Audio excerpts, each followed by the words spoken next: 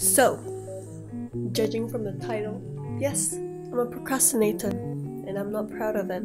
So, this video is going to be about what I did my entire February.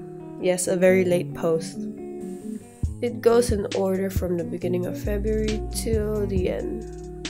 And some of the clips are pretty self explanatory, so figure it out yourself. Oh, and one more thing there's gonna be awkward talking. Anyways, I hope you guys enjoyed this video, and I'll see you soon. Bye!